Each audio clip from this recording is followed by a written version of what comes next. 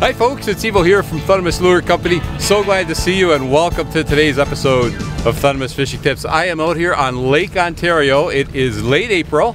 The water temperature is 41, 42 degrees, 41.8 degrees. And I'm out here uh, just in front of Port Weller. And what I'm gonna do today, folks, I'm gonna troll with lead core line, uh, looking for hopefully salmon. Of course, there's trout out here too, but I'm hoping to get into a nice king salmon. And I'm gonna run the American Smelt crankbait and the one I chose today is natural.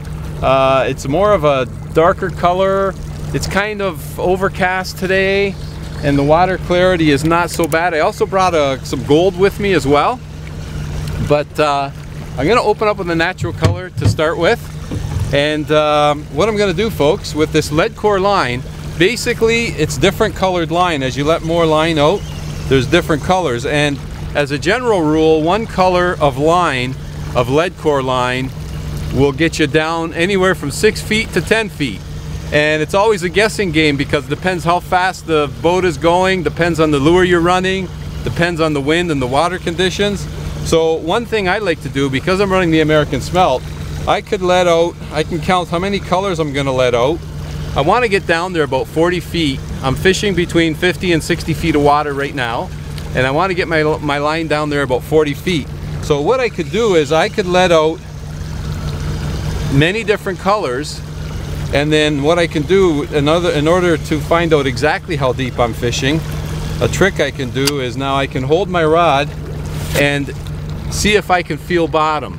So if I don't feel bottom what I can do is let out another color of line and continue trolling and then see if I feel bottom once I feel bottom, then I know exactly how many colors of line to let out for how deep I'm fishing. Then what I could do is I could start reeling in to get my line up there to 40 feet. So that's gonna be the strategy today, folks. I'm gonna troll at about, I'm just at 3.2 mile an hour. Uh, it's a nice, nice late April day, folks. They're calling for rain later, but for right now, it's looking mighty fine. And I'm hoping to get into one of those nice king salmon. The stocking is working, folks. The salmon are running. And these uh, spring kings are not like the October kings. They're much, much stronger. They fight a lot more, and uh, that's what I'm looking to get into today. And as a side note, uh, here we are in uh, 2019, and this year they're going to actually stock 20% less salmon. So, uh, which is a good thing because they're saying the salmon are thriving and there's so many, they don't need to stock as many. So I'm hoping to get into at least one of those fish today. So, so glad you could join me. He's swimming towards the boat. What a hit, folks. Oh!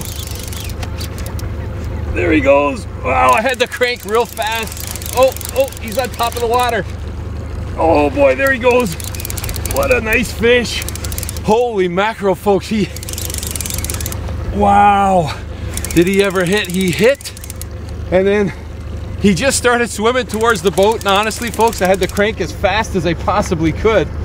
Like literally as fast as I could to get him here to the boat.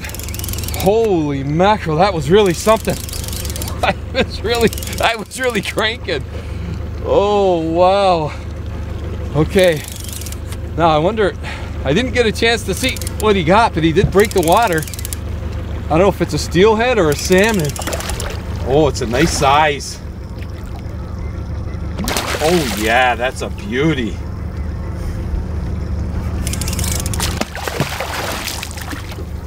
Look at that, folks. What a nice fish. Oh, yeah.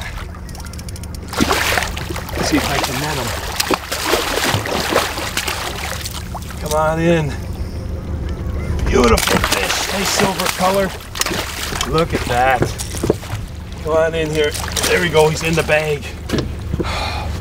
That is one nice king. That is a nice king right there, folks. Well, I was hoping to get a salmon, and I hooked into one, and it's a beauty. Also known as a Chinook. Oh, wow, but did he ever, he got the needle nose. Did he ever take a run? That was really great. I don't want to get my uh, hand in a needle nose right in the right in the snout. Good hit, good hook set. Oh, oh, what a nice salmon, folks. Oh, what a nice salmon. Okay, he's finished. Here we go. Let's see if I can get him out. That's just a nice size. That's a good eater. I'm going to keep this one, folks. Uh, for a minute, I wasn't sure if it was a steelhead or a salmon, but when he ran like that, I thought, oh, it's got to be a king. Oh, there we go, folks. What a nice salmon that is right there. Look at that. Oh, that's a great. That's what I came out here for, right there, folks. Oh, we're gonna grab ourselves a nice photo for Facebook and Instagram, but right now, let's get him in the live well. Oh yeah.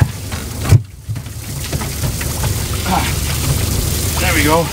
That is one beautiful, beautiful king salmon right there, folks. Okay, so he came out of 59 feet of water and I was about 40 feet down with my lead core line.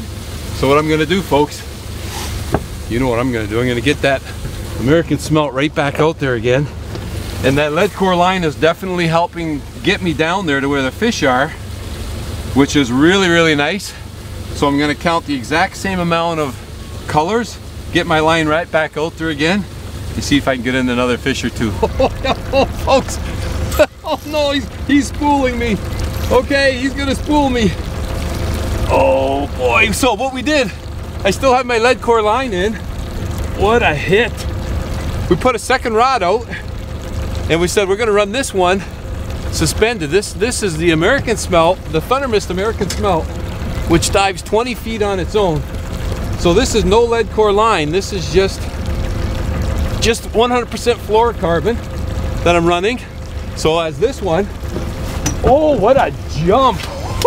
what a jump that was! Looked like a dolphin coming out of the water there, folks. So this one was only down 20 feet. So I'm in 55 feet of water right now. And this salmon hit this American smelt crankbait at 20 feet down. Whereas my lead core line, I've got at 40 feet down. Oh, here he comes, got a crank, got a crank. Whoa, what a jump. Oh, this, this, this, this is great. What a jump that was. Wow, acrobatic. These are not, I love catching the salmon in October, folks, don't get me wrong. But the spring kings, there's nothing like them. They're silver, they're on the bite, they're strong, they're exciting. Oh, oh, he's peeling. Oh no, oh, he's going under the boat. Oh, there he goes. Oh, I had the crank fast. You want to keep your line. You always got to keep your line tight. You don't want them to be able to shake the hook. Oh, I gotta loosen up on my drag. I've got 17 pound test fluorocarbon line on here, folks. This one is fighting a lot more than that last one was. Oh. As the fish come closer to the boat, you definitely got to lighten up on your drag a bit because there's a lot more pressure on your on your line and you don't want to break off. Oh, crank, crank, crank, crank. Whoa! They are so fast and so strong, folks. It's unbelievable. Wow. Okay. This is what springtime fishing is all. Oh, it's a beautiful king. Wow, it's a dandy. No wonder. Oh, no wonder he was fighting more. It's a bigger fish. Whoa. It's, it's a bigger fish. See, they come in, like I say, we're only fishing in the 50 foot range. In the spring, they move in to feed, and this water's so cold, you can get them in here you can get them in in shallower water.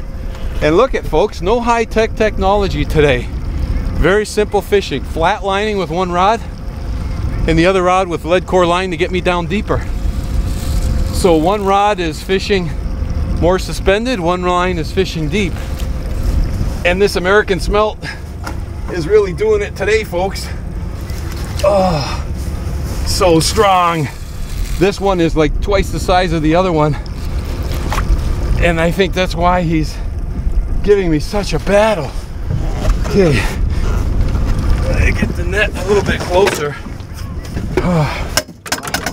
this, this is super exciting. Catching big fish like this in the spring. Oh. Okay. Oh. Come on, Mr. King. See if I can get him in and get him in the net, folks. This is a challenge. Uh, well, don't want to lose my reel. It loosened up on me a bit there. All right. Ah.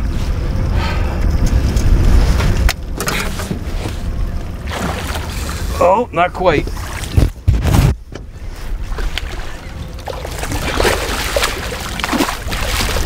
Little net's not gonna do it. Little net is not gonna do it, folks. All right. Oh, he's wrapped around the tail now. That's one way to tail a fish. All right. Let's get him tailed here, folks. There we go. All righty. All right. One way to tail a fish. Oh. Antonio, where are you when I need you? Okay. Oh. Oh. There we go, folks. And the lure, the lure came off. I was lucky to land that fish. Holy, that's a big king. That's a nice king right there, folks. Oh, that's a nice king. that's a nice king right there. Oh my God. Oh, and I've just got started, folks. I have just got started, but look at the nice silver coloration on this fish absolutely gorgeous. That is one nice Lake Ontario king salmon right there. Okay. Oh, he is thick. Really, really, really thick. Okay. Oh, that's a really, really thick, thick, wide fish right there. Oh, okay. Oh, that's just, folks, that just made my day. We've been out here for it's been 45 minutes. Two fish already. The day is young, the rains are coming, but we still got plenty of time to fish. I'm gonna get those smelts wet back out there again. That line is still in there. I can just put it in gear. It's gonna start trolling. And we're gonna put that flat line out again too. One at 20, one at 40. The system is working today, folks. If you ever get an opportunity to give springtime salmon fishing a, a try, all you need is, you don't need a lot of gear, simple techniques. Get yourself out on the water, start trolling. I'm trolling at three mile an hour. Have yourselves a great day. I'm having a lot of fun. I want to thank you ever so much for tuning in to today's episode of Thundermist Fishing Tips. And as always, folks, until next time, good luck and good fishing.